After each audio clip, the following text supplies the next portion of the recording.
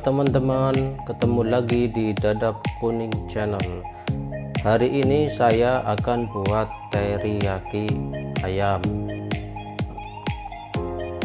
Nah, ini bahan-bahannya sudah saya siapkan.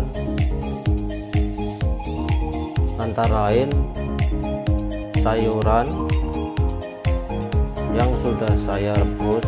Ini isinya brokoli, kembang kol, wortel, jagung muda ya teman-teman.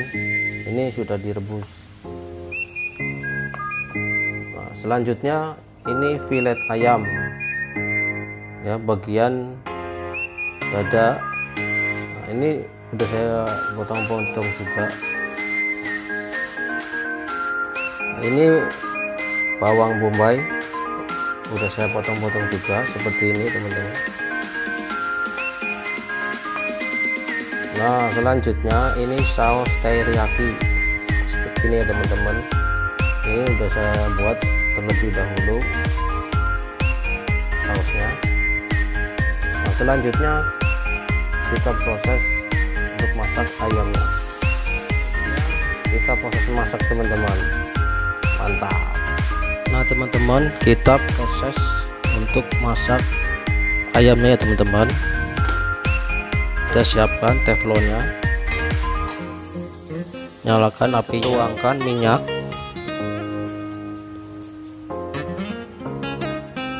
Sedikit aja ya teman-teman. Seperti ini ya teman-teman. Kita goyang-goyangkan biar merata minyaknya. Nah kita nunggu panas sebentar. Nah teman-teman. Ini minyaknya udah panas ya. Kita masukkan ayamnya seperti ini.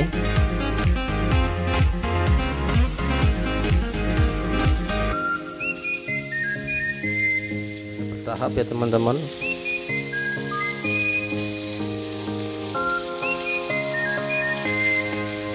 Kalau sudah kita balik permukaan yang di atasnya. Nah, seperti ini teman-teman. Matang ya. Kita balik pelan-pelan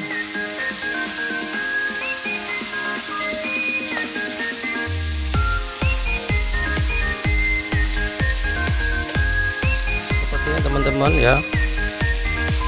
Nah kita kalau sudah agak matang kita bisa dibalik seperti ini. Biar merata ya Nah kalau sudah kita matikan apinya. Selanjutnya kita masak sayurnya ya teman-teman. Nah, nyalakan apinya. Minyak bawang putih. Atau bawang bombay ya. Ini teman-teman. Kita aduk sebentar.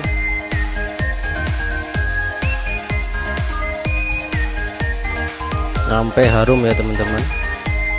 Udah masukkan sayur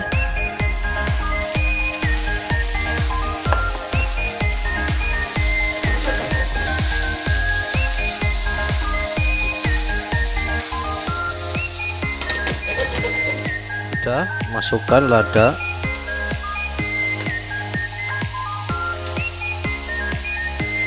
Masukkan garam. Masukkan minyak salad oil dikit. Masukkan saus tiram.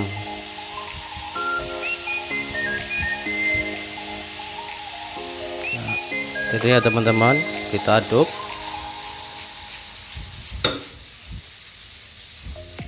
selesai sayurnya ya karena tadi udah direbus jadi cepat masaknya. Ini proses sudah matang ya teman-teman.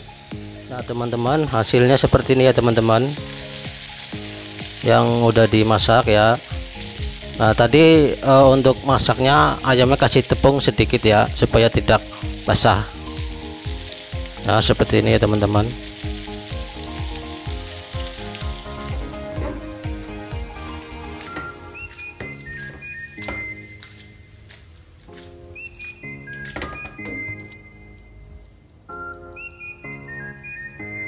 ayam teriyakinya udah jadi.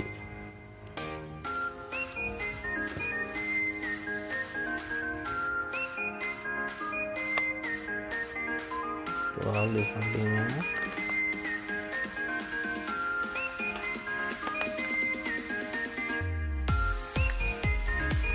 Nah ini sayurnya nah seperti ini teman-teman masakannya udah jadi sudah selesai. Ini hasilnya teman-teman sih teman-teman sudah menyaksikan mudah-mudahan bermanfaat buat teman-teman semua.